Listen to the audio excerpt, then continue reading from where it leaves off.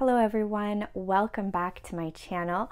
Welcome if you are new. I'm Kateryna and I'm an English teacher from Canada. I make a new English lesson for you guys every Friday at 10 a.m. Eastern Time. Make sure you subscribe and hit that notification bell so that you don't miss any new lessons coming out every week. I noticed that you guys have really enjoyed my videos about coffee, so I have made a lesson for you 10 useful phrases at the coffee shop. Practice and master these phrases so that you can always order your favorite beverage. This is going to be a listen and repeat lesson. I will say each phrase two times and give you the time to repeat it. And included with this lesson is a free PDF document with all the phrases as well as some helpful vocabulary to help you at the cafe. Check out the link in the description to download your free PDF. And by the way, guys, before we get into the phrases, if you or someone you know is looking for an English teacher, I teach private online lessons for children and adults. So check out my website with the link in the description down below. Without further ado, let's get into today's topic 10 useful phrases for the coffee shop.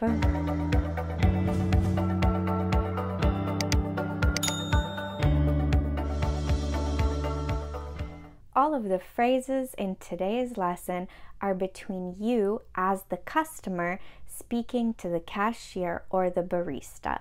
A smaller cafe might have only one person working and they will do both roles. They will act as the cashier to take your order and help you to pay, and then they will act as the barista and make your drink. A bigger coffee shop will have these jobs separated. A barista is the special professional term for someone who makes specialty coffee beverages. All right, let's get into the phrases from beginning to end of entering the coffee shop, ordering your beverage, and saying goodbye. Practice these phrases with me to help you order next time you're at the cafe. Number one, hello, how are you today? Practice. Hello, how are you today? Very friendly, simple greeting before you place your order, ask how the person's day is going. 2. Look at the menu and pick what you want. Put that item in the blank. Can I get a cappuccino, please? Can I get a cappuccino, please? Use this phrase for any of the items on the menu cinnamon bun, Earl Grey tea. Make sure you use the article a or an in front of it.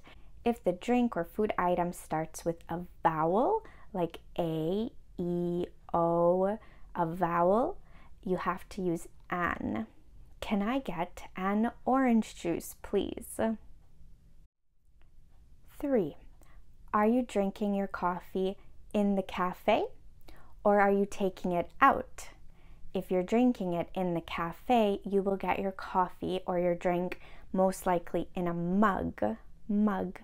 If you're taking it out, it will be some kind of paper or plastic cup. For here, please. For here, please.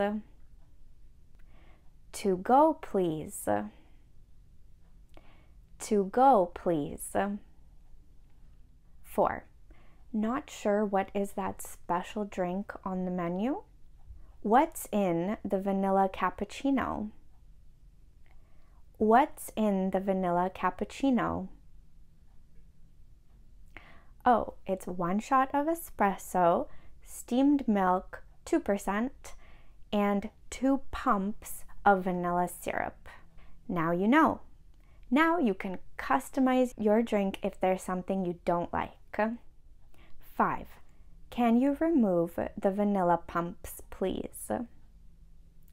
So, whatever you don't want in the drink, ask to remove it. To remove, it will be taken out. Can you remove the vanilla pumps, please? 6. Maybe you want to take one of the ingredients out and replace it with something else. This is called substitution. So you're not just removing it, you're also putting something else instead. Can you substitute the vanilla pumps for hazelnut? Can you substitute the vanilla pumps for hazelnut? In what other kind of situation might you ask to substitute? Maybe you don't drink 2% milk. Can you substitute the 2% milk for non fat? Non fat is like 0% or skim milk. Can you substitute the 2% milk for almond milk? 7. As a kind of default, most of these drinks are going to be made with a 2% milk here in Canada. It's just kind of a standard across coffee shops. What if you don't drink cow's milk? Do you have any non dairy milk? Do you have any non dairy milk?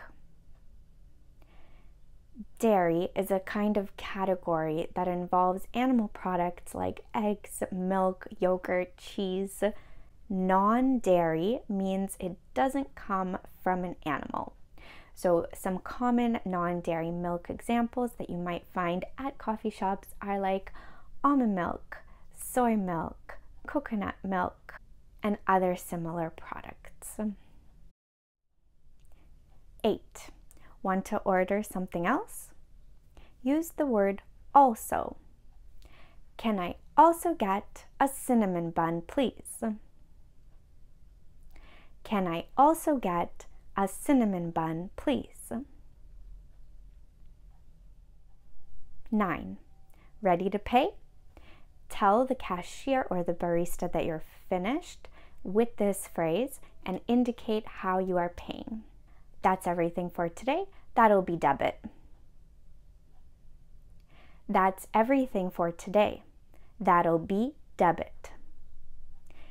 Instead of debit, you can put any kind of form of payment that you're using cash, credit, debit, phone payment. Maybe you've got a gift card for that specific cafe. This is where you can tell the cashier. 10. So you got your delicious beverage, you're ready to go. It's just polite to say goodbye and thank you. Thank you. Have a nice day. Thank you. Have a nice day. All right, so that concludes our lesson for today 10 phrases for the cafe. From beginning to end, these phrases will take you from the initial greeting, ordering your drink, and making sure you get exactly what you want, and saying goodbye. This is a listen and repeat lesson, so I hope that you were practicing.